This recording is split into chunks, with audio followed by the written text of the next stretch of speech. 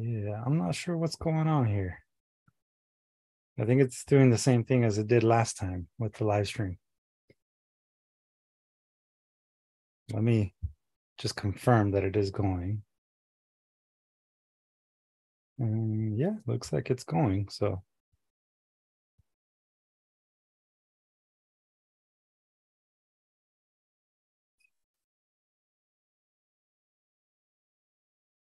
All right.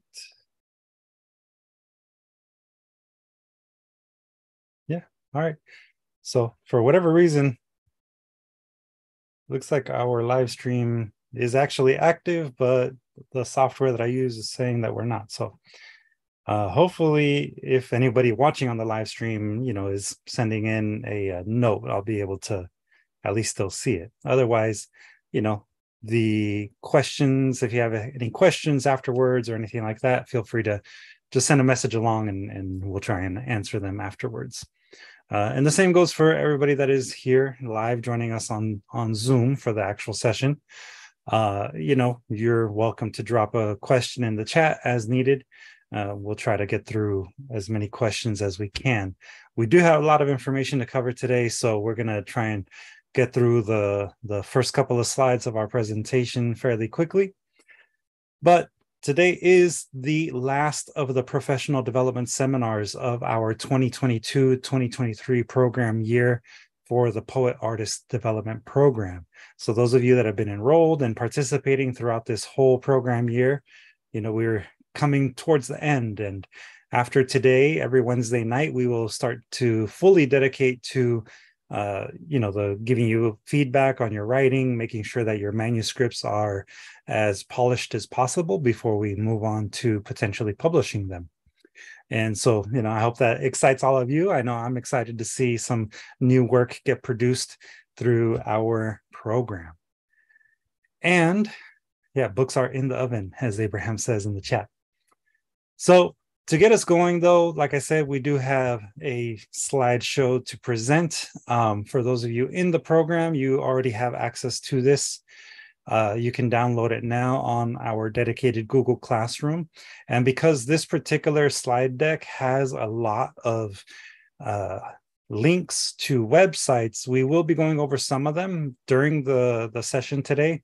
But just know once you download the handout, you can actually gain access to the websites that we'll be covering uh, pretty easily through the handout. You just click on it as long as it's on your computer or any other device that's connected to the internet. And those links will then take you to the website themselves. And they are uh, functioning links. So you won't miss out on anything. Tonight's topic is publishing contracts and commissions. We're going to talk a lot about, you know, ways in which you can protect your work as an artist and also yourself, you know, your ability to earn a wage. And, you know, that's really kind of the point of these these particular seminars for those of you that are really looking at turning this into a career. There's a lot of different ways in which we make money as artists, but you know, our goal is really to teach you to be a working artist. And you know, for anybody that's joining in afterwards, uh, whether on YouTube uh, or even if you're new to our live stream, DSTL Arts or Develop Skills and Transcend Limits Through the Arts, that's what the acronym means, uh, is a nonprofit arts mentorship organization that inspires, teaches, and hires emerging artists from underserved communities. And, you know, there's a lot of different ways in which we do that. Our programs primarily are focused on uh, teaching professional development skills as well as various skills in um, you know publishing and uh, marketability all of that. It begins with our poet artist development program but for people who are maybe just kind of returning back to the arts after a hiatus we do offer our conchas y cafe bilingual community writing workshops they are writing focused, and because it is bilingual, we teach the classes in both English and Spanish. Every 12 weeks, it produces a zine called Conchas y Cafe Zine.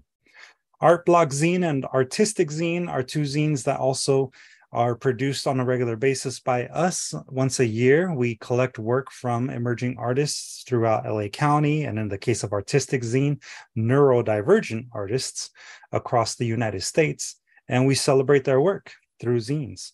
We also have our Creative Impact series, which this year is focused on the social justice theme of a decent living. Um, that is something that is tied very closely to our poet artist development program. You can learn more about all of our programs on our website at dstlarts.org.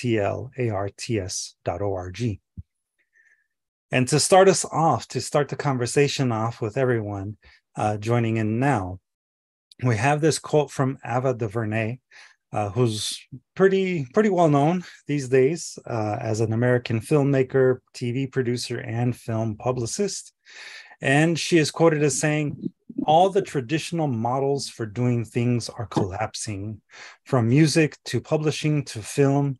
And it's a wide open door for people who are creative to do what they need to do without having institutions block their art.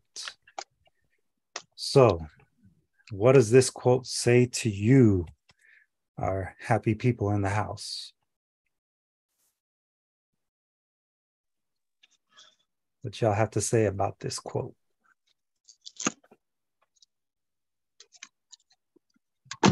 Jump on. To me, it says that we have freedom to write, express our art, express our, our creativity, and that the field is open.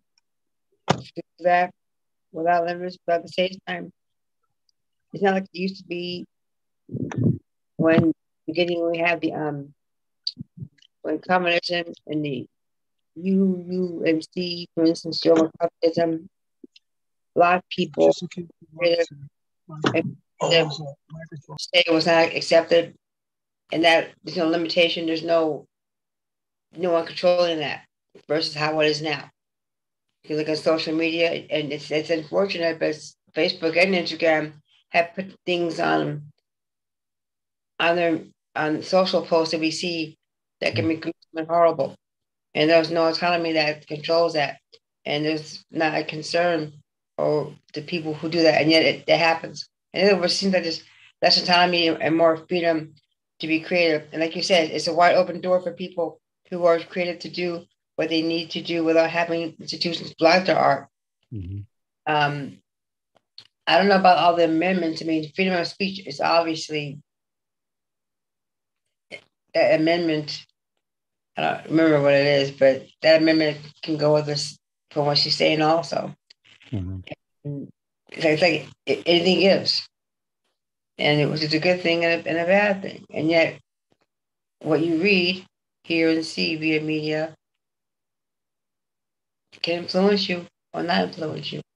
And I think sometimes, depending on the generation that you grow from or that you're growing up in now, is mm-hmm. different. When I was at age of a Generation X or a Generation Z, and things are different. Mm-hmm. And and uh, to me, the more things change, the more things change, the more they stay the same. And that's also reflected to me throughout this throughout this quote too, because okay. although 2023, what happened 100 years ago was different, but yet it remained the same through history, culture. Mm-hmm. Evil, speak no evil, say no evil, you know. But we know that's not true because Facebook and Instagram, other ways are saying that, you know, through those social platforms. Right. So I think in a nutshell, from what I got about your your response to this is that um, social media has kind of allowed people a platform to do things that maybe they wouldn't have done before. Is that more or less what what I was supposed to get? Yeah, that, yes, you're right on money with that one, and it, it's, it's true. I mean, everything's such an influence these days. I mean, things mm-hmm. like, for instance, having a child, having a baby, sexuality. What is your sexuality? What is this? What is that? I mean, I'm not saying those things for as a for instance. It's like a, it's a free for all. You know, um, 1984 George Orwell, Big Brother.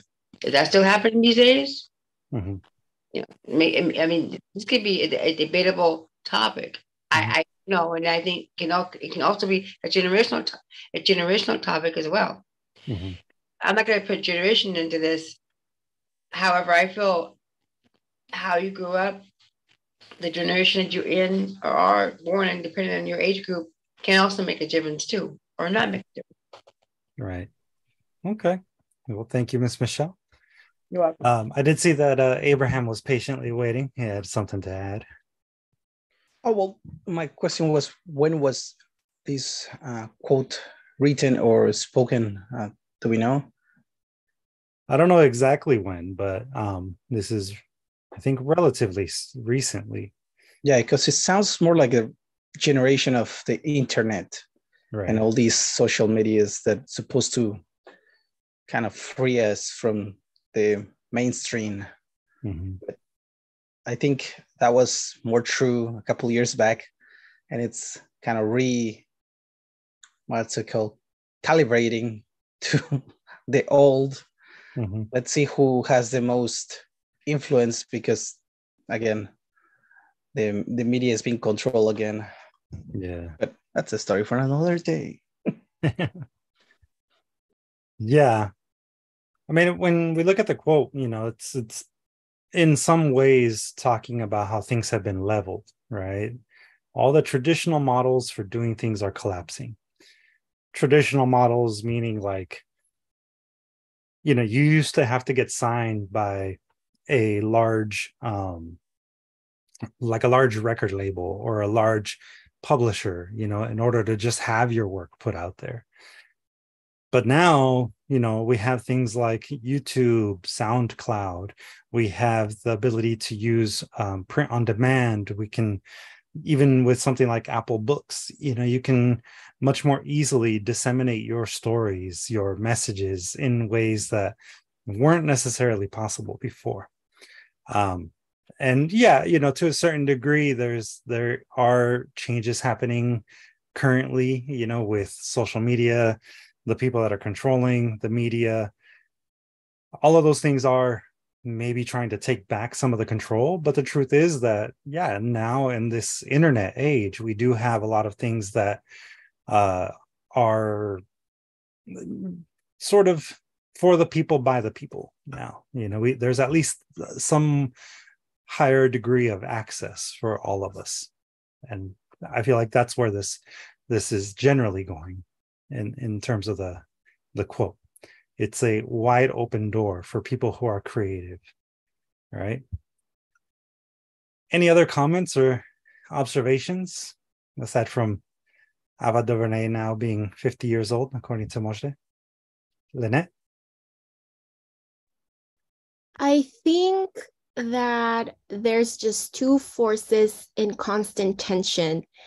Um, and on the, I feel like this quote speaks to the fact that um, that there are some like openings to, for example, like you mentioned, like people making their own music, right? Or uh, someone starting their comedy career through TikToks Mhm. versus you know before that not being an option.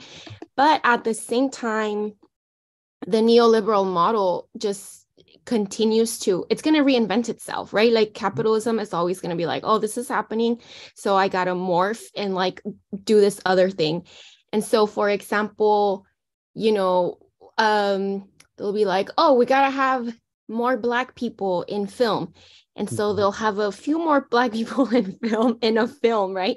But they're still like the va- the same values are still being like uplifted. And the top executives are still like mostly white males right? And so the and then there's also um media uh instead of being there being like a lot of cons a lot of companies like consolidating or even like um it's it's kind of like that illusion of choice where you think there's like oh there's all these people creating but actually it's like three or four large media companies that are really deciding what movies are being shown in theaters for example or like three major label companies that are putting on shows and things like that so it's like i feel like both things are true um Yeah. but for example with just like women creating content like there's this illusion that anybody could create content but when there's a dissenting voice people are still like women are overwhelmingly get like death threats women Mhm. overwhelmingly will like um I don't know, be harassed, right? So yeah, it I feel like it's more complicated. It is.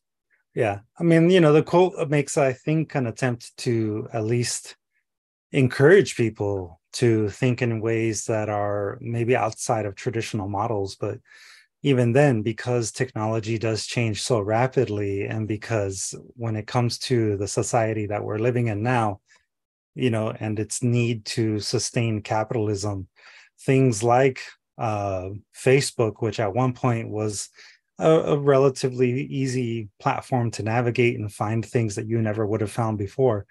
You know, the algorithms started to take hold, right? And Instagram no longer was the platform for discovering a new star. It was now a platform to discover the next star that had the money to pay for the ads that then brought them to your attention. You know, whereas, you know, at one point it was more of an organic thing. So there's definitely you know a lot of that that we do need to um, kind of acknowledge and address you know through our actions as as artists. And that's why it's really important that we really think about or consider you know the ways in which we can protect ourselves the artwork that we create um, and our living because in the end you know we are in this because we want to find success in some form that at least allows us to to offset some of the costs to creating art. Um so yeah. Excellent observations. Thank you everyone. And now you know we're gonna talk a little bit about how some of these protections came to be. Uh for that i'd like to direct you to to this uh, particular website. This next story that Abraham is going to share uh, with us is from Planet Money, the podcast, and this is the actual link.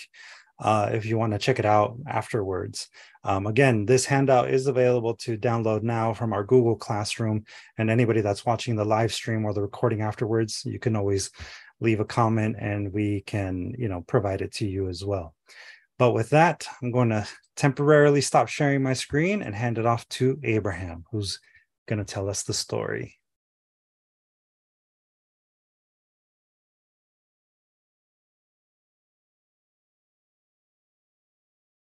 Uh, you're on mute, Abraham. Yeah, I noticed this weird thing. Okay, we're back, and hopefully you guys can see. And so let's begin with the story of today. This little story starts with David Judah Simon. He was a police reporter at the Baltimore Sun for from 1982 till 1995. And after he wrote his first book, Homicide, A Year on the Killing Streets, 1991, he gets an agent who tells him that it's a good shot. This could sell in Hollywood.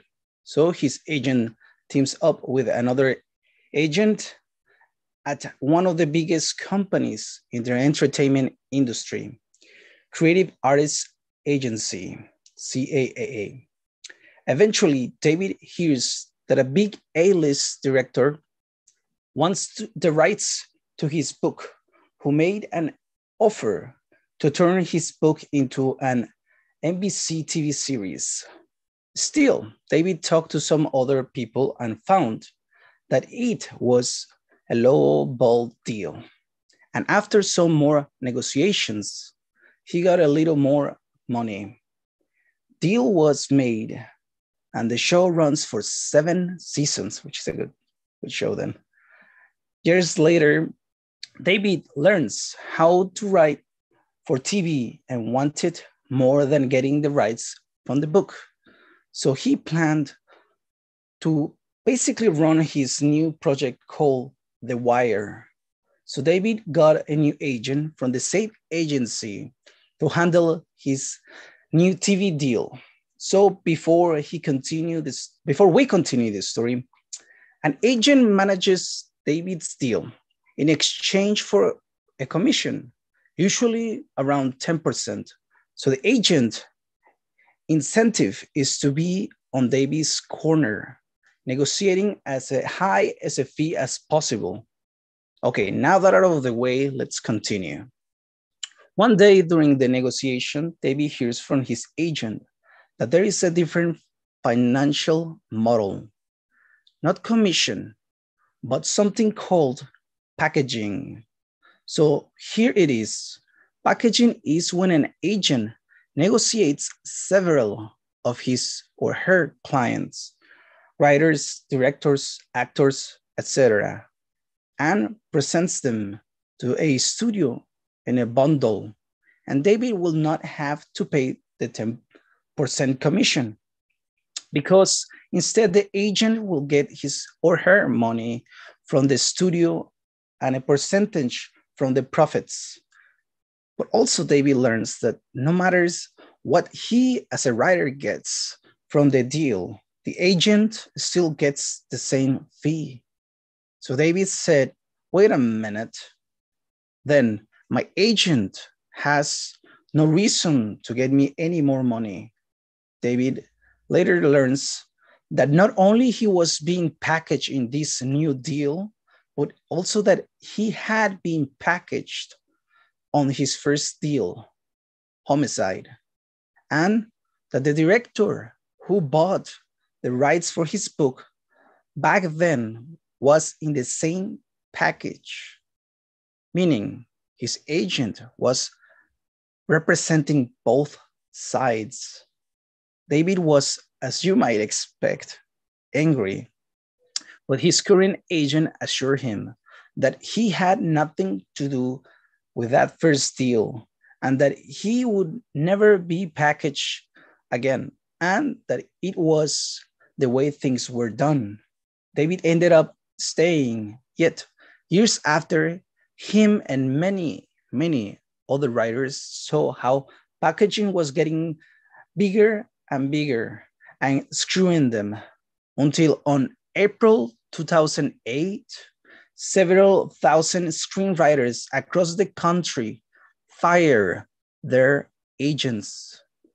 This was called the nuclear option. And again, you can um, follow the entire story in the podcast Planet Money Writers Revolt, and it's an update on the story. And again, I you can check the, the link. And let's get back to the class. And any more questions, go for it. Let me stop sharing. Hmm, how do you stop? Ah, I'm gonna do this. That works. All right. Any questions about what was happening in that particular story? Did anyone not yeah. quite follow along? I have a question. Was it was um were they were the agents eventually sued, and was also a union established for that? That was established so that the creators who the, the creative control that occurred. I mean, like I said, the, the agents are double dipping, and he or she knew that. They knew they were being slick. It's like they're being slick, and they say, "Hey, but I have it from both sides." So I, am here for you. I'm here for you. I'm getting everything from both sides. Money, money, money, money, money. However, at the same time, with this revolt, was there a union to protect the creative people, the people who created to make these shows and make the who contributed these things, like a well, union or something. Like uh, Michelle, so yeah, mm-hmm. there was a union, and it took several years for people first to cut up to it, like all big scams. Right. It takes time for people to notice, and also takes a lot of time for people to actually fight it because there's huge companies who were doing this. And um, again, after they all basically figure out, all were basically creating a strike because of the union, the whole power of all the writers who were selling, saying to their uh, agents, you stop using this basically fraud of bundling people, or we're gonna fire you. And they didn't believe it, and all of a sudden, all the agents were fired all the ones who didn't sign that they wouldn't be using the same technique. And we got changes and then again everything you had to keep on fighting. All that's kind of the current events. Yeah, that, that makes sense and thank you for saying that because that's not that's not fair and you're thinking you're successful and yet you're being screwed again or being backstabbed or being dealing with hypocrites and people who are backstabbers and smiling in your face, you know, and yeah. Yeah, and it was definitely really unfair. And well, let's continue with a couple more um, stats and details. Uh, so agents and unions, for where you need people, right? The purpose of an agent and an unions is to provide you, the artist, with the representation and protection in legal matters related to the licensing of your artworks. Both agent and unions can provide you with, and here's the list, professional connections, opportunities, talent representation, assistant, uh, assistant, assistant what's essentially, sorry, means agents sell your skills, talent, art, or your, on your behalf as much as possible. Unions representation provides you with networking and employment opportunities that ensure equitable pay. So yeah, unions help you a lot to charge better. explains and negotiation contracts. And again, explains is basically they will help you understand what is what you're about to sign on the deal that you're getting. Agents act inter, um, as intermediaries between their clients, you and the publishers, producers, studios, publisher, etc. Right? And agents' incentive is to get you the best deal so that their 10 or 15% commission is larger. And again, this is kind of what the problem was in the story. The guys were getting that, but still they decided, no, are you gonna play both sides to get more? They were like um Michelle was mentioning double dipping, which okay. And unions often provide you with contract reviews to ensure you are being equitably paid and protected as an artist liaisons and uh, with attorneys. Agents are not attorneys again, and you should not provide legal advice. Um, only a certified attorney can. Unions always have attorneys on retainers, um, specifically for their members. So yeah, that's another good reason to go for a union. You get a lot of benefits. One of them is having attorneys uh, liaisons with specialists. Uh, agents can help you with your uh, branding, public image, or even act as editors, uh, but they often defer to specialists for marketing, design, etc. Unions can also provide you with referral to specialists in support areas for an artist's career. So again, it's part of the whole package of being in a union well, depending on the union and the benefits. Um, here we have agent finding tips to consider when searching for an agent. Agents are incentivized to get you the best deal they can. They better you deal, the higher their 10 to 50% industry standard commission will be. Again, when searching, research who else they represent if their client list includes writers, artists with similar styles and or backgrounds as yours, they could better be a better equipped to represent you unique work. Again, they have kind of the the reach as well as the experience to handle your specific needs. Um, research um, what kind, what other uh, properties they are have sold and to whom again part of the the we're saying their connections. Same as above if they have successfully helped similar uh, works to your find a buyer then they might have the best connections in the industry for you. Understand the financial contractual obligations you have been agreed to. Agents shouldn't charge you a direct fee again direct fee their fees are typically deducted from your deals. Be aware if your agent requires exclusivity contracts that limit your ability to work with other agents and li licenses you intend, um, intellectual property in other mediums, which happens. I know it happens to a couple of musicians who basically the agent just set on their contract so they couldn't work somewhere else, even though they weren't getting money but as long as they had him like signed to them, they were screwed. So make sure you are not finding yourself in that kind of situation. And um, next one or this different one? Yeah, there you go. And then uh, we have a couple websites to learn more about literally agent is it. Uh, you say you wanted to quickly open this one, uh, Luis? Yeah. So, um, mm-hmm. So that everybody can kind of see where some of this information came from. Um, specifically, this is an article that came from Poets and Writers, which is a very well recognized uh, publication and also website that is a specialized resource for authors, poets, and um, artists working within the the uh, storytelling mediums. So a lot of this information that we just covered came from here. Uh, and if you want to learn more, I highly recommend that you check this out um, because you know it gets into some other little details and, and other tips that uh, we only kind of touched on, but haven't quite 100% um, gone very deep into. But the most important thing to remember is that you know an agent is actually supposed to work for you um, in a lot of ways in partnership with you and their incentive is to get you the best deal not to bundle your your work with you know other clients that they represent. They should be working for you as an individual client. Um, that's one of the the things that definitely comes across in in this particular um, like article from poets and writers.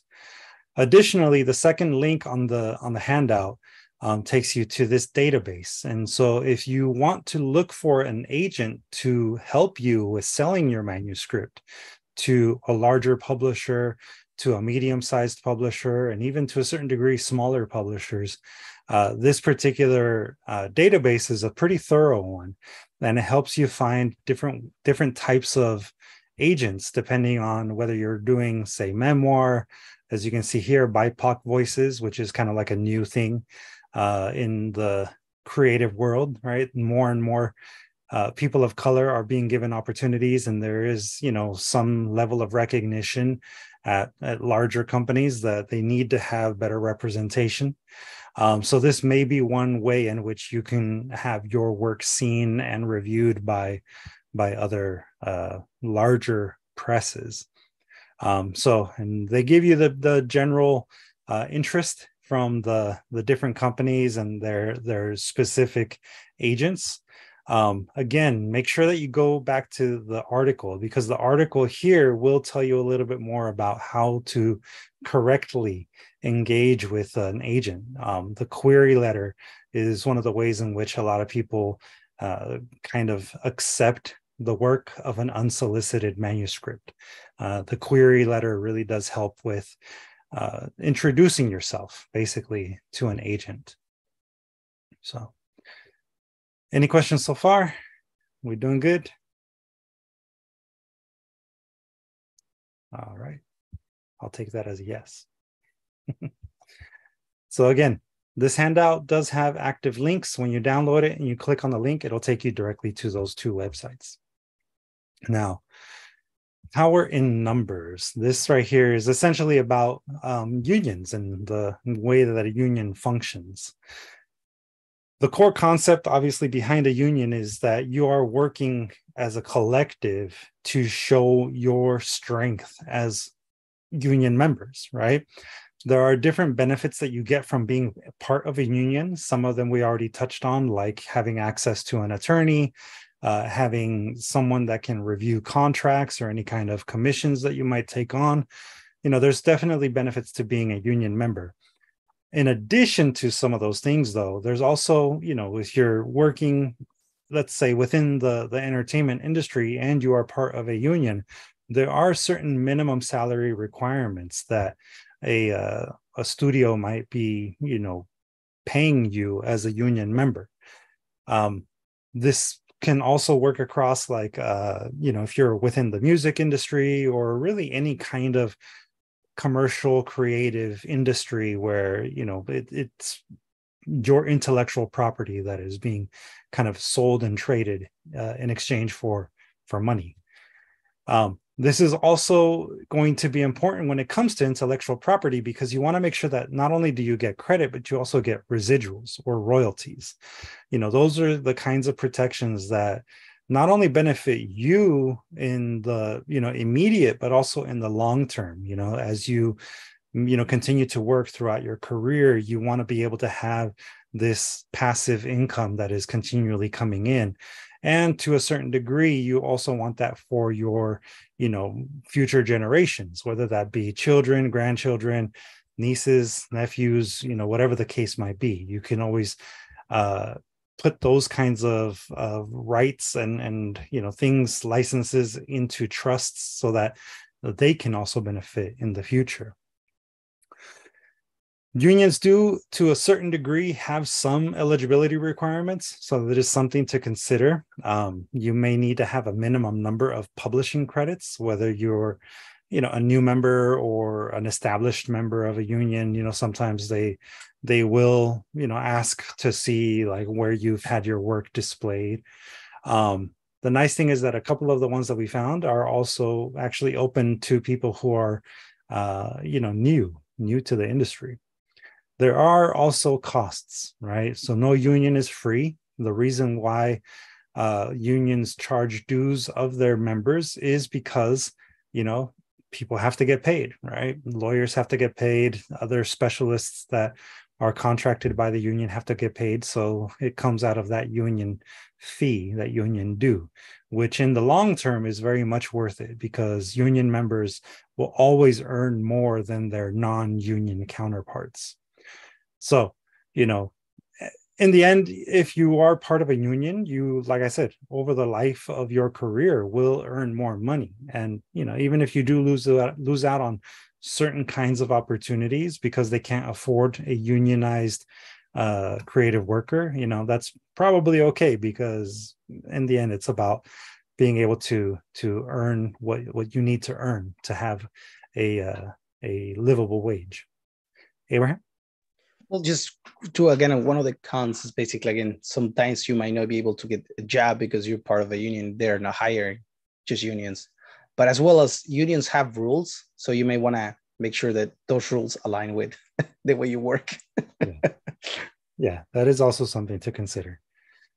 Um, we did in our limited research that we were doing in preparation for this workshop um, find a couple of unions that we found to be fairly useful for writers specifically. Um, and some of these do take people like, uh, you know, graphic designers and and other uh, forms of of uh, like visual storytellers but this one right here in particular the national writers union you know their eligibility is for um, you know professionals that are currently working. It is open to freelancers and also employed professionals which is nice um, meaning that you do not have to be employed by a large company to be able to join this one. You can actually be working independently um, and this includes also people who write content for apps or for uh, websites. You know, if you're considered a blogger, you can also join this union. Um, if you write ebooks, you know, which is kind of like a niche market in itself, you can join this union. Um, autores que escriben en español, you know, as as per their website, escritores en español. That is somebody that is the uh, type of writer that they are open to, um, you know, uh, representing through their union, which I personally found funny. But obviously, if you are working in Spanish language media, you know this union is actually open to you, whereas not all unions are, um, unfortunately. Uh, some of the benefits, just like with a lot of different kinds of unions, but you know some of the trade unions that are for artists, um, this is something that I think is even that much more important. You are able to get um, insurance, right? Medical, dental, and vision insurance options or assistance with them, uh, which is something that, again, you know, if you're working independently as a freelancer, that is going to be something that you will want to invest in um, just to protect yourself and, and your physical health and mental health. Uh, they also offer the ability to get press passes, which, you know, if you're a writer that does do blogs or, you know, reviews or that kind of thing, press passes are always very useful. Um, there's also legal and career advice that they're able to provide you with, and also grievance assistance. So if somebody decides to go back on a contract, you know, you can always do a grievance and they will help you with the legal fees. There's also um, assistance with traveling and promotion that they offer, which is kind of cool. You know, sometimes, especially if you're going to be self-publishing, you know, you will become responsible for your your own books, right? And the uh, the traveling costs and the promotional costs for that. So they offer that particular, uh, you know, perk of being a member. And they have memberships that start as low as $12.50 a month. So that's fairly affordable. I mean, if you can afford a Starbucks cup of coffee, you can afford being a member here. Um, and their their scale, their their uh, fee structure is sliding scale. So the more you earn, the more you pay. But even then, you know, it's still going to be worth it. Um, the other one that we found is the Authors Guild, and this one was one of the ones that I was mentioning where um, they do have certain eligibility requirements. Um, you have to have at least published one book in, um, you know, any time within the past 18 months, basically. Uh, and you can also uh, be self-published and qualify if you earned less than $5,000 in the previous 18 months, which is nice. You know, there's a slightly lower barrier for eligibility uh, with this particular union. And they also have the emerging writers membership, which, you know, does have limited benefits, but um, if you are an unpublished writer, you can still join for either $100 a year or $9 a month. You know, not to sound too much like a commercial for these particular unions, but you know union membership is something that is worth it if if you want to really again consider your work sacred and protected. This is the website for the national writers union. You can learn obviously more about them by clicking here uh, through the the handout. And you know just so that way you know you're on the right page this is what it looks like. And then we also have the Authors Guild, which is the other one that, like I was saying, this one does take unpublished authors through their emerging writers membership program. Um, this is, again, just so you can see which website it is, this is the official one. Um, it's always good to make sure that you know where you're going, right? Um, so that's a little bit on some of the unions. Uh, does anyone have any questions, anything that they'd like to ask before we move on? All right. There's also other forms of organizations that might be good resources too. They're typically called membership or trade organizations. Some examples would be like the Academy of Motion Picture Arts and Sciences. These are the people who are responsible for putting together the uh, the motion picture, you know, the Oscars, basically. Uh, they are a membership um, organization. They're not a union, and you know a lot of times membership organizations will host things like that you know special recognitions award ceremonies that kind of thing. With them it is exclusively for artists who are working in the motion picture industry um, and you know there are particular dues that you pay uh, which actually help fund programs that support emerging filmmakers, actors, and writers. Uh, as writers yourselves, if you decide to go down the screenwriting path, that could potentially be a useful membership organization to be a part of. There's also for poets the Academy of American Poets, um, which I'm not a member myself, but I do receive their poem a day newsletter, which is paid for in part by membership dues. So, with them, if you pay membership dues, you are helping to support the creation of new work and also the dissemination and celebration of it. They also have grant programs that they offer uh, periodically through uh, partnerships that we that they have with other uh, membership organizations like the Community of Literary Magazines and Presses, CLMP, which DSTL Arts is a very proud member of. And you know, there's there's definitely other sort of perks to being a member if you decide to be a member for the Ameri- of the Ameri- Academy of American Poets. And then here locally in LA, there's also Arts for LA, Arts for LA is an advocacy group that, with the support of membership dues, they do a lot of work to help ensure that schools um, and our specific communities are supported with funding for the arts. They um, advocate with the city and the county on a regular basis. They work very closely with LAUSD to create models for incorporating art into their curriculum and in general you know they offer professional development seminars and other kinds of things like that um, that are pretty useful uh, for for emerging artists and established artists. Regardless of whether you join a union have an agent or you know join a trade organization the idea really is to find people that are like-minded to find organizations that will support you as an artist and who you feel best represent your interests your particular um, you know sensibilities when it comes to your art to your social justice practice to all of that.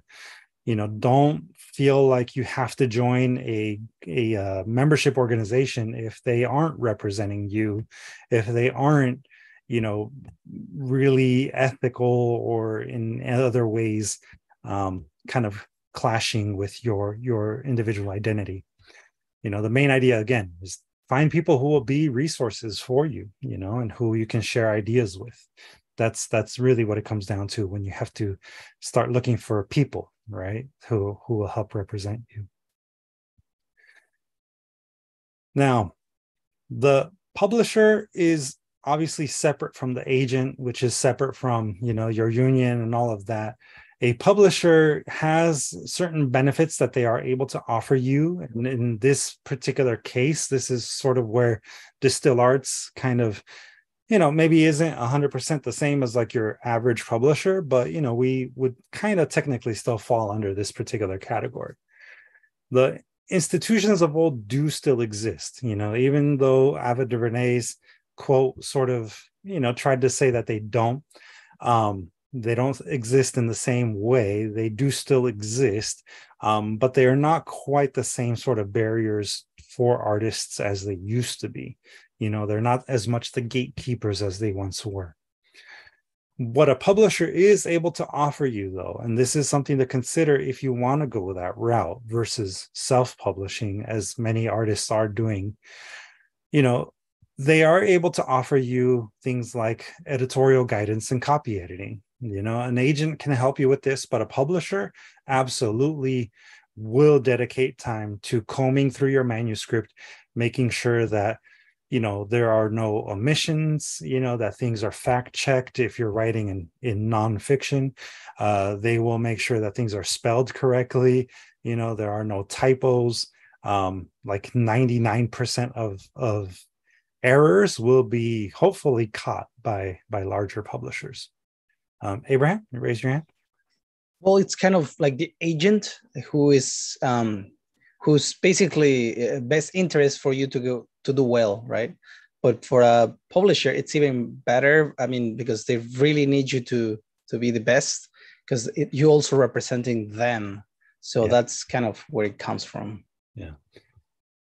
Yeah. In the end, the publisher wants to really protect their image, right? So it comes down to quality control in a lot of ways. Now, one of the things that falls under that sort of quality control though is things like designing printing shipping and distribution you know most publishers will almost never work one-on-one with the writer with the the original manuscript creator uh, they'll take the manuscript, they'll comb through it, make sure that things are edited in a way that makes sense, that works. However, you know, they won't really talk to you after that with with regard to how they want the book cover to look, how they want the paper to feel, all of those things. Uh, so, you know, you are basically relinquishing control at, after submitting a manuscript.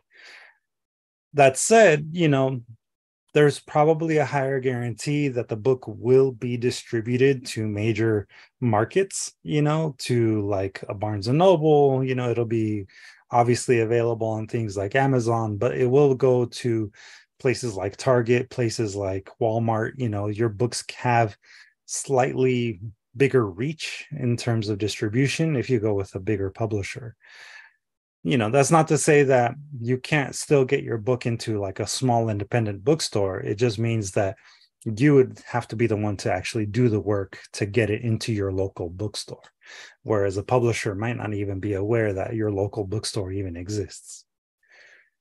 They also will offer you some level of marketing support. You know they'll announce that the book is released. They might invest in something like a uh, you know a billboard. They might invest in something like a uh, I don't know a spot on a tv show where they feel like your work will sort of resonate with the audience but you really can't expect it to be too much other than just placing it in a larger bookstore.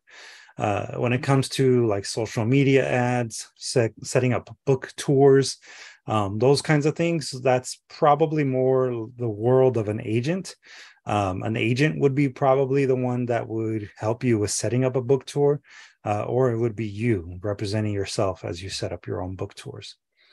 So you know something to keep in mind if you decide to go with a larger publisher. In the world of self-publishing a lot of these things end up falling on you. So you know if you want to have that full control and you are okay with uh, you know taking the time to invest in your own work you know you can definitely go down that route. Self-publishing has become a lot easier to do and it is also becoming more and more accepted as a valid form of publishing where before you know it was looked down upon because it wasn't one of the big random house or penguin um, you know books. Now a self-published book is equally as as uh, recognized as a as a work of quality art especially if you take the time to invest in things like the design in the copy editing all of those things they they do have an impact on the end user which is going to be your audience the person that will buy your book. Um, the nice thing about self-publishing is that you can also work with like you know boutique uh, design firms. You can work with design firms that can make things look and feel more limited edition you can charge a little bit more for things that are fine press books you know things that that come across as being of a higher quality that is always going to be one of the benefits of working with a smaller uh, design firm. And if you're going with the self publishing route, that's, I think, a, a good benefit. Also, you can set higher royalties and you can set longer royalties, right? Where a lot of publishers will have a book available for maybe three to five years. You know, if you're self publishing, you can have that book available for your entire life. Uh, and people can consistently buy it, you know, if they want the hardcover version and then later a paperback version, you know, and you're self publishing all of these things, those are things that you can definitely sell in perpetuity as long as you have the ability to continue printing them. Sometimes it helps to also just do limited runs of books, and in that way, the the residuals will be maybe slightly smaller, but your book will get you, you know, maybe more attention down the line because it becomes a collector's item. But in the end you know that does mean that your marketing strategy would be custom tailored by you you know just like with a pu- bigger publisher you're going to be the one that's responsible for ultimately hyping up your book a bigger publisher can only do so much and it's going to be on you to say hey you know this is my new book come check it out i'll be reading here i'll be reading there you can buy it on my website. You can buy it at the upcoming LA Zine Fest. I'll be at the LA Times Festival of Books. You know, like you're going to be the one that's ultimately hustling your book, regardless of whether you're self publishing or working with a larger publisher. But you get to have more control in terms of the way your work is marketed um, if you are self publishing. And in some ways, there's a bigger benefit to that. You don't come across as tokenized. Um, by you know a white run publishing house versus you know doing it for yourself a quick note on intellectual properties so you know i get asked these questions a lot regarding copyright and trademarking um, we've talked about this before but the biggest distinction is that a copyright protects the rights of people who create artistic, literary, musical, dramatic, and certain other intellectual works. That includes things like software. It also includes things like, um, you know, logos and that kind of thing. However, the difference between a logo's copyright and a logo's trademark, you know, it comes down to the ways in which it's used. The individual artist can copyright a logo, but a company can trademark a logo to protect their image. What it comes down to with a trademark is that if the brand feels like someone copying their logo would be detrimental to the consumer, then they would go the route of trademarking it and then having it be something that is protected. Uh, in order for you all to understand, you know, what these particular websites are looking like and how they function, I did um, open up the, the website itself. So this is the U.S. Copyright Office website.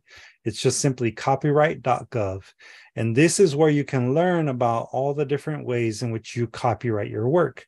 This is also the website that you would use to copyright it yourself. Um, it gives you the fee structure, it gives you the form online. So you can do this online. There's no need to send it by mail, there's no need to do anything other than just uh, uploading your document and paying the fees, and you're good to go the copyright will be valid for your entire life plus 70 years. So, from the moment that you register your work until you pass, and then another 70 years, that work will be protected by copyright. And it is something that you can transfer to your uh, descendants if you choose. Uh, in order to you know protect the work to to the degree that available to them the trademark office it's the U- US Patent and Trademark Office. And again, this is where you would go to find out how to trademark your work um, if you are a business uh, and if you are acting as a business. Um, so, you know, this this is a bit more specific to that. Uh, but let's say you do design your own logo and you design your own um, unique process for doing something, you can trademark it and uh, have your work protected in that way as well. But in most cases, as working artists, you're probably going to be more interested in the copyright over the trademark. Any questions regarding either of those? Or comments? I have a question. Yes. Um, now, as you know, there are us here on this call who have their work published through DSTL Arts. Mm-hmm. And is that, even though it's, it's like a, I won't say like an anthology, but it's, it's a collective or body of work from various people. Mm-hmm. Is that considered intellectual property? Is that considered perpetuity or? Yeah. So that's a that's an excellent question. Um, anything that you create that is a work of art literary music visual all of that as as defined by the copyright office right? That is all considered intellectual property and it is something that you own as the author of it. Um, you can legally protect it by going through the whole process of trade of sorry registering it with the copyright office any work that is featured in our Conchas y Café zines, art block zine, artistic zine, you still own the work. You are only licensing it to us for the purpose of appearing in that particular issue of our publication. What we offer through the um, you know the process of applying to the program and, and stuff like that is just you know when you sign a form the form for enrollment you know it basically is saying that you are you know agreeing to license the work to us and you know for us to publish it. There is no clause in our enrollment agreement in our enrollment forms that say that we now own the work and that you are giving it to us forever. You can still go off and use it for whatever purposes you you find you know you can incorporate anything that we've published into future publications Uh, we don't even require that you actually uh, inform other people that it's been published in one of our uh, particular works. However, you know, if you do have something that's appeared in Conchas y Cafe or an art block or whatever, uh, some other publishers might actually say, "Well, sorry, it won't. We won't be able to to uh, publish it, um, even though you know we don't we don't claim any rights on it, any first first rights." But that's actually something that we're going to get into uh, next. But good question, Miss Michelle. I hope that answered it. So, licensing, you know, I just mentioned it right now, but there are certain things to consider or to understand when it comes to, um, you know, licensing and what licensing means. These are certain terms that you may come across as you begin working within the arts world as an independent artist or as someone who is represented by an agency, by, you know, a union, whatever the case might be Licensing itself specifically refers to how, when, where, and for how long other people can use your artwork. Again, you own your artwork unless if someone contracts you in a work for hire situation, right? If you are licensing your your work, you can still copyright it, and the publisher can own the copyright to, but they would only own the copyright to the physical object that is designed and produced by them. You would still hold the copyright to your original manuscript. So the intellectual property is yours, you are licensing it to them, and then they are turning around and producing a work considered a book, you know, and that's something that they could then copyright. Um, it gets a little bit fuzzy in those particular cases, but the idea is still generally the same. It is something that you are licensing for a fee, and they can only use it for a certain amount of time under certain circumstances, whatever your you know publishing agreement says.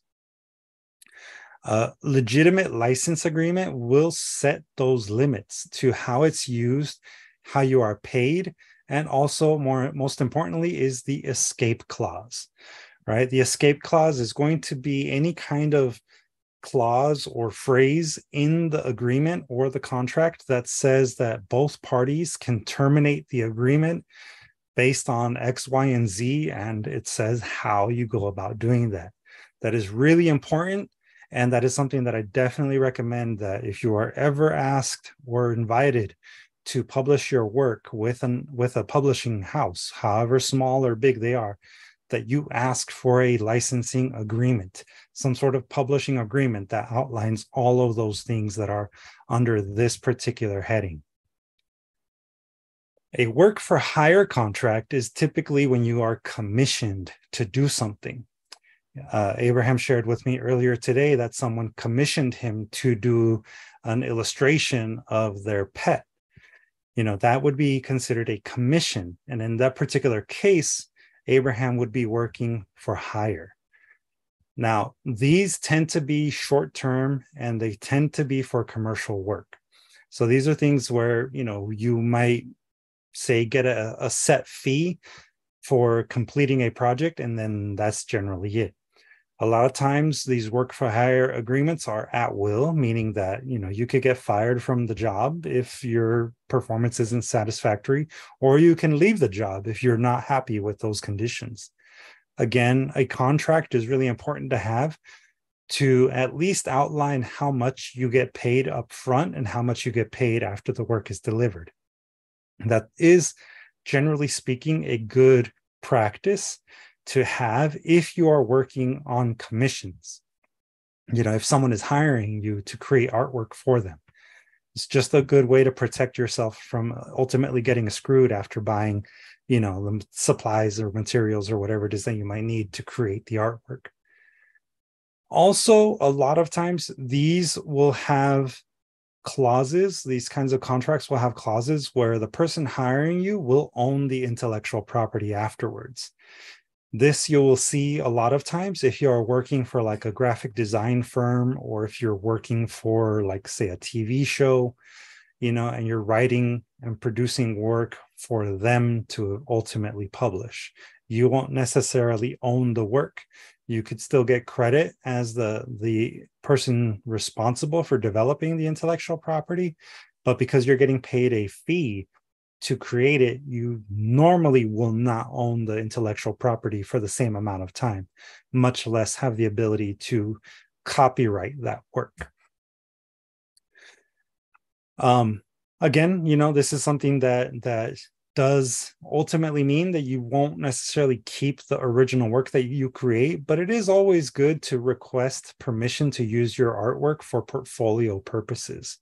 You know, you want to still be able to say, yes, I worked on this and this is work that I have created in the past when you are trying to get other gigs. So, you know, in an in, in a work for hire contract, make sure that that particular clause is included that way you are able to again continue promoting yourself as a working artist because uh, in the end we're always trying to get gigs right?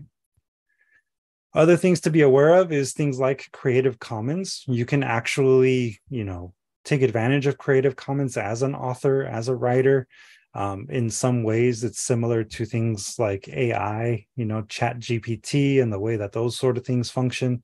You know it's using other works that are open source you know not necessarily in the tech sense but you know things that are available to you as like stock images um, so that you can share it repost it remix it and create it create something new out of it. Um, creative commons is a way in which you can also get your work out there to have other people you know look at it potentially purchase it. There are different levels of licensing that are available through creative commons sometimes you know if you are even like say taking a picture of the sunset right and you upload it to a stock photo website you know there is a certain level of licensing that you can uh, assign to it and creative commons is maybe one of the lower levels.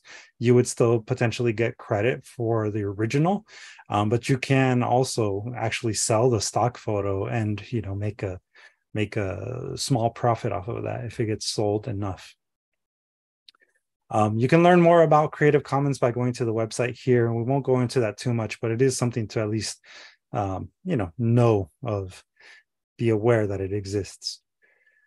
Open source normally refers to software or source code. Um, you know, this is something that is made public by the author, it's themselves, or that you know, and, and it's again more tech related if you are working in a tech space and you are having open source uh, media uh, made available you know that is also something that you can potentially you know set up with different levels of licensing.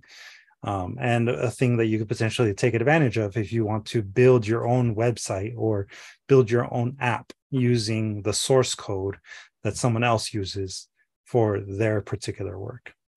The source code however you would not be able to to uh, copyright or trademark so that's a lot. But as it relates to all of you here in our program, you know, we have uh, a little look here at our publishing agreement, the one that DSTL Arts actually uses. So, should you decide that you want us to actually publish your chapbooks, um, you know that option is available to you as you kind of come towards the end of of the program year this is the what our publishing agreement actually looks like. And you know you can see here there's certain information that we would need from you. Um, the sample book title can always be changed. That's not necessarily something that you know once you say that's what i want to title my chapbook you know that's what it's going to be. Um, but generally speaking this is this is what you will find on a good majority of publishing agreements from most publishers. Again we tend to be a little bit more generous than your average publisher. So, uh, you know, you will more than likely see more restrictive terms in in other publishing agreements. But um, for us, you know, you need to meet a minimum page count, as you can see here, of 25 pages. Uh, submitted to us in the form of either a Microsoft Word file or a Google Doc file for written work if you are doing anything that is illustration based, um, your work, your illustrations need to be scanned images or at least uh, you know digital images that have a minimum 300 ppi resolution. Uh, if you're working in digital media or photography or anything like that, illustration, you'll generally know what that means. And if you're doing a combination of that, then it just needs to be clearly marked. Um, again, you know, this is this is what you will receive if you decide that you want to publish through us. The most important things to look for in a publishing agreement, just like we already covered, are things like how long will the publisher be granted permission to publish your work? Because again, that's what a licensing agreement is for. In our case, in this particular section, you can see here that it's for a period of, of up to three years from the date that it that this is signed. Um, as much as I would like it to be forever, it isn't forever. Uh, and you know, there's good reason for that because we want to give you the opportunity to be able to continue developing your work, to continue, you know, basically pushing it into the world and having your stories told on your terms. Uh, we also are, you know, not necessarily exclusive. You know, we are asking for exclusive rights to print, publish, distribute, sell, and license the rights to any and all editions or formats of the book in the original language that it is written in. Um, but we are also saying here that your work is theirs. I'm sorry, that the work is is yours and that you have the opportunity to actually sell it in other formats, right? You can um you can buy the book itself at cost, you know, so you don't have to pay the shipping fees, you don't have to pay like retail price when you buy extra copies from us. You can buy it at the wholesale price. Um, and you have also the ability to uh, present this in in like say an ebook format if you want to do that. You can uh, sell the the rights to turn it into a film to turn it into a music video. I mean you have the ability to do a whole lot of other things aside from from just the book right? Um we also have a, a clause in here regarding the design and the cover art you have the ability to select your own cover artist. Um, you will be responsible for finding that artist, paying that artist, and ensuring that you have an agreement with them that allows us to use the work that they create for you. Um, again, that's ultimately a work for hire contract that you would be creating. And if you don't want to go that route, then you and I can work on, you know, the development of your particular cover art editing wise we will be collaborative in the editing process. That's another one of the things that we include in our particular uh, agreement here.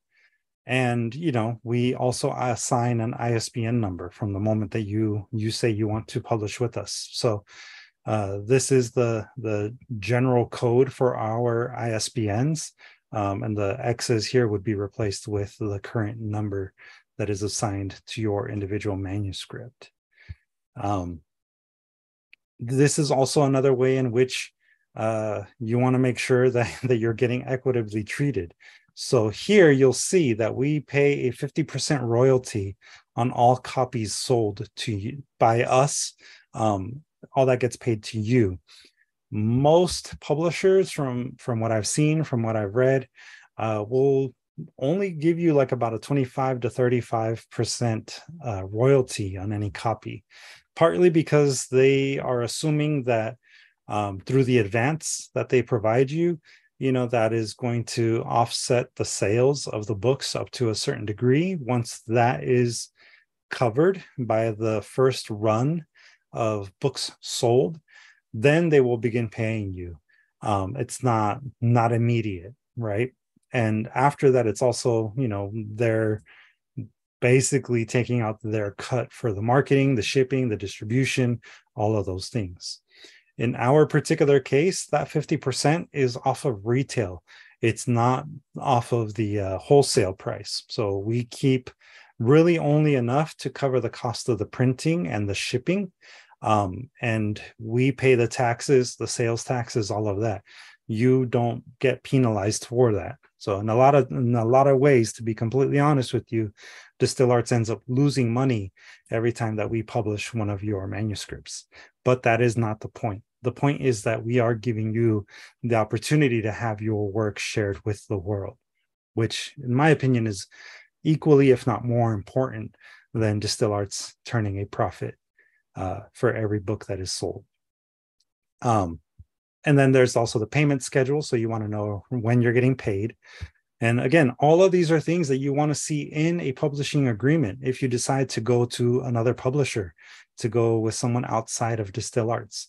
You know, these are things to help protect you in the case of any kind of, you know, legal uh, issues that might happen and that's also where you know you have clauses like this one where you know if there are any kind of arguments or disagreements between the publisher and the artist. You want to be able to have that outlined. What are the processes?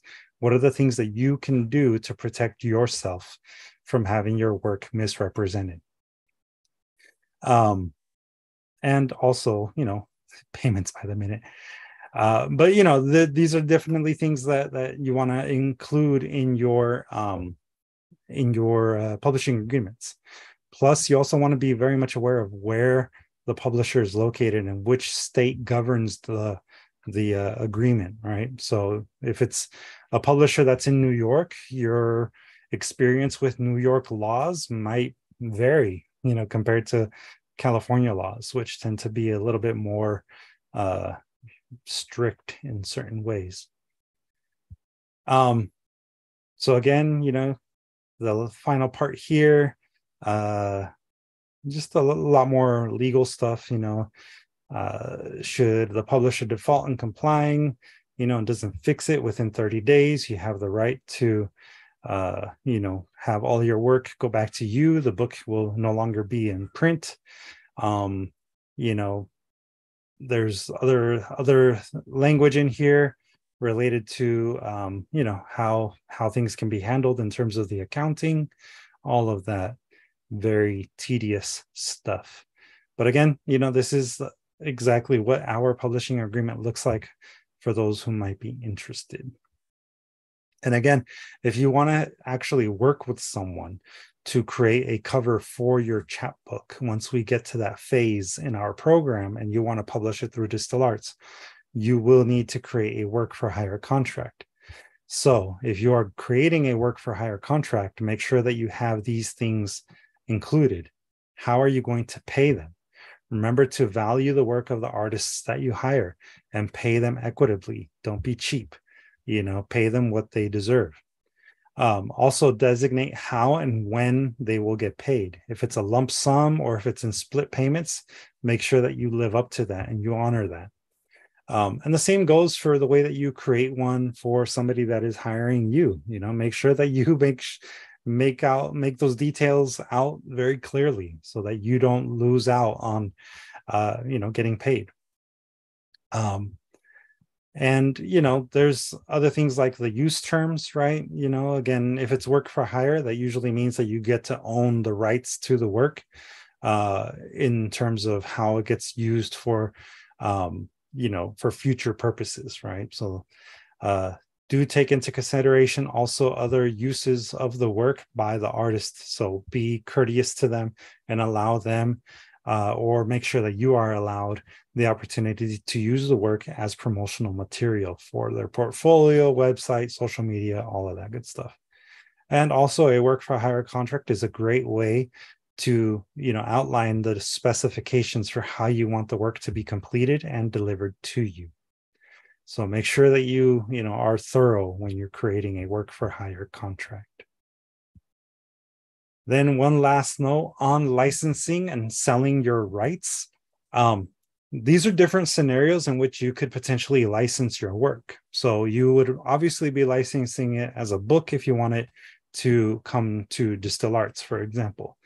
Um, but if you want to then turn your manuscript into something else to continue earning off of that same manuscript, you could always license it as a film or a movie. It could become a TV show. It could become a play. Uh, we're talking about even music before and audiobooks. You know, those are those are different ways in which you can license a written literary manuscript. Also, think of digital media. You know, there's um there's a number of movies recently or even TV shows that were licensed from videos and video games. The Last of Us, the TV show, that series is a licensed work from the video game, The Last of Us. So, you know, that's another way in which you can potentially earn off of the same manuscript and just now repackaged in a new way. You can also do things like augmented reality elements. You know, if you're an illustrator or a photographer, um, what is a videogram? A videogram is a type of moving image that uh, basically looks like a GIF, but it's just one element within the frame that is moving. Uh, sometimes they're called videographs. Um, and they're pretty cool. They're like, you know, just digital art that, that again has certain elements of, of motion to them.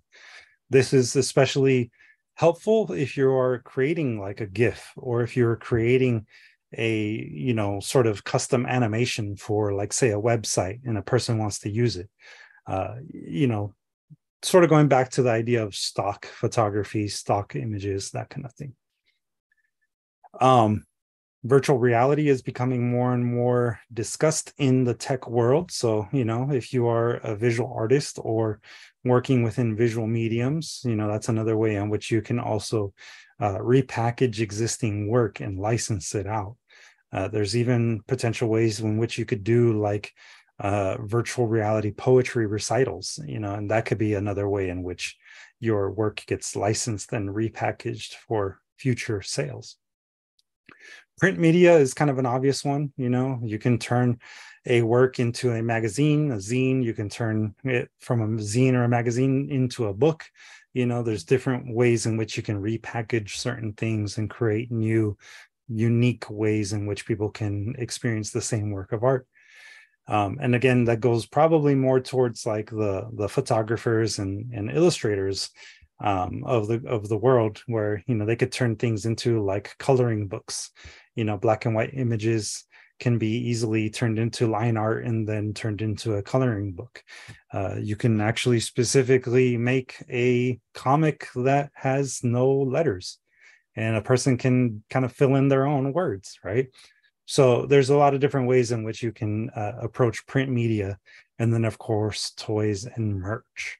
So, you know, if you have uh, whimsical characters as part of your stories, or if you have um, I don't know, some sort of thing that that uh, is unique to your work, even your logo, as an example, that is something that could be turned into a desk supply. It could be turned into a coffee mug. Um, you know, that's where the housewares would come in. It could be hoodies and t-shirts. It could be dolls and action figures. It could be even a playset um, and stuffed animals. So a lot of different ways in which you can license your work and earn residual income. So, with all of that said, you know, we definitely encourage you all to think about different ways in which you can have your work licensed. You know, money isn't everything, but it sure helps when you have it. And as working artists, you know, those are things that you will constantly be kind of working towards you know as as you want to create new things new experiences tell your stories. And you know what better way to to sort of prepare yourself for this eventuality of being a working artist than to really start thinking now about how you want to license your work? What are other ways in which you can capitalize on your talents tell your story and do it in a way that really you know resonates with people so if part of your long term strategy is to turn a short story into a film, then start thinking about how you want to go about doing that. What are some of the ways in which you can set yourself up for success now so that you're not lamenting in the future because your work was somehow stolen or taken advantage of? Um, as always, Abraham, myself, and Angie are available to answer any questions you might have for anyone that is curious about our other programs who's watching on the live stream or on YouTube later, you can always go to our website here at DSTLArts.org. You can definitely follow us on social media for updates about our programs and whatnot using at DSTL Arts. And, you know, any kind of uh, likes or comments are always welcome to our content. And any questions that are, you know, pending, feel free to, to ask either now or uh, later on the comment sections of our YouTube or uh, other social media, and we'll get back to you as soon as we can. And I do see a hand raised from Heidi. Yeah, uh, thank you. This is a wonderful speech. Yeah, so I like your idea. Before you said uh, we can uh, from book to the movie, uh, mm-hmm. but uh, I think I have a wonderful Chinese girl story. She name is Felix' sister. So I always wanted to be movie because she is very special. She is famous in China, but uh, uh, she changed the uh, life direction to be moved to America. She have a lot of special story. So I hmm. think this to be movie uh, can help American people understand Chinese America. Mm-hmm. So yeah, but uh, my question about uh, what I can do. first step from ideal uh, to movie. So it's a long life journey. So thank you so hmm. much. Um, I mean, the first step with really the the case of most creative things is to write it down, right? Even if you don't have a full script to turn it into a movie, you know, start by writing the story. Maybe make an outline of the story.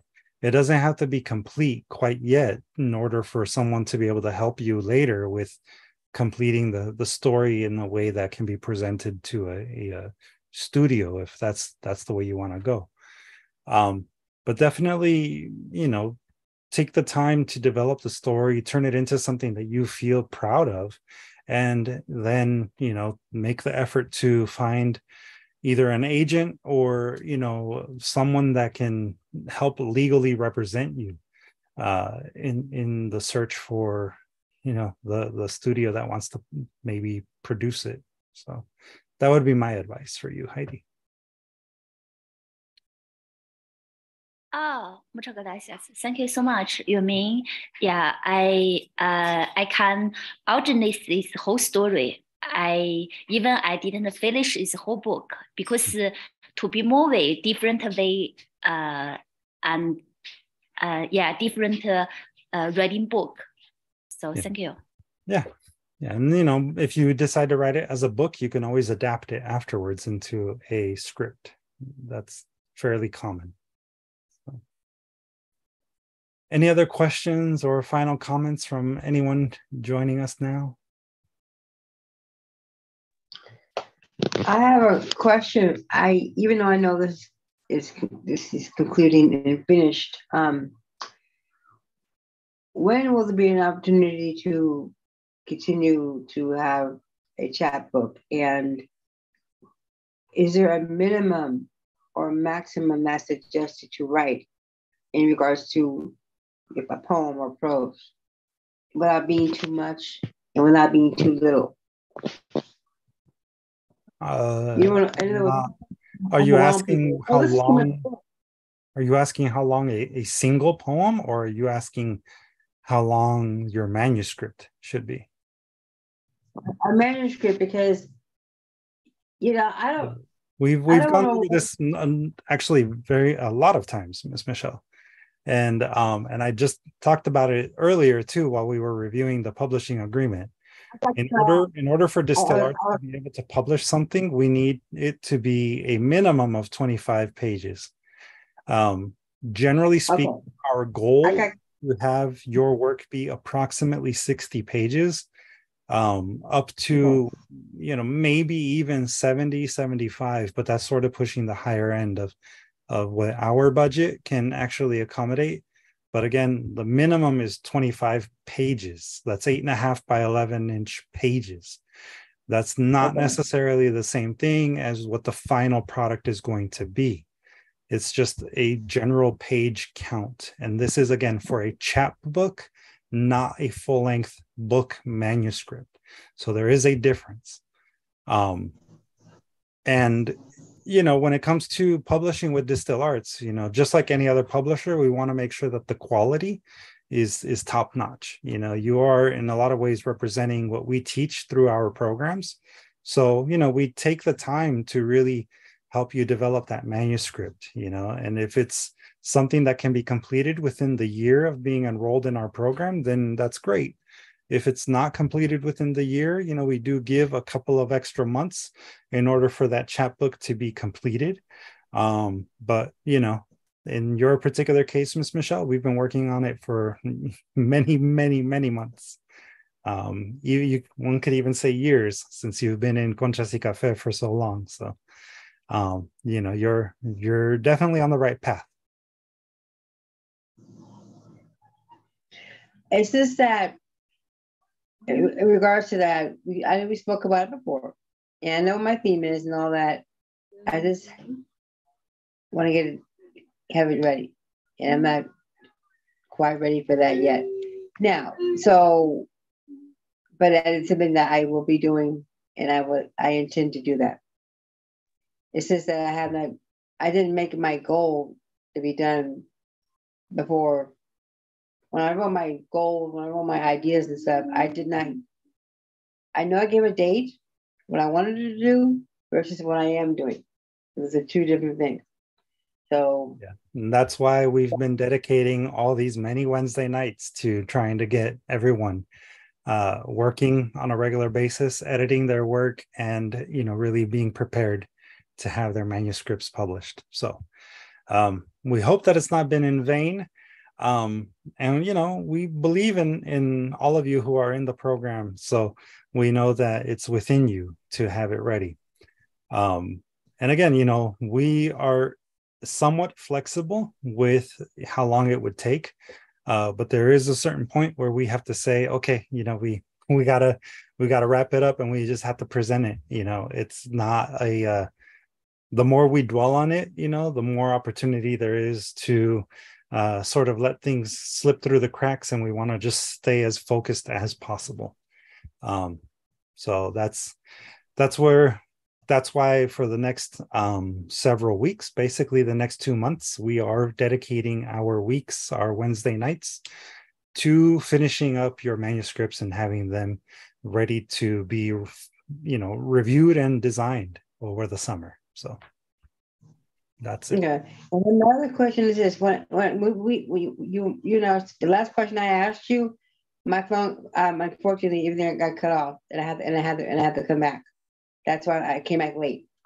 So I'm not it's due to my phone. I'm not sure if it's my phone or my wiring or what have you, have you. But that's what I wanted to find out. So I, I came back later. Sometimes I think I think the environment that I'm at can make a difference also versus being where I should be in, in this building that that I'm in. Yeah. Because I know that it can, it can be spotty. I'm not in the library, but I'm wondering if it's the environment that I'm in. I'm in a certain place where the frequent the environment is not well, working. I don't I don't have any control over that, Miss Michelle. That, that's, that's, that's entirely up to you. So I don't um, think my conscience.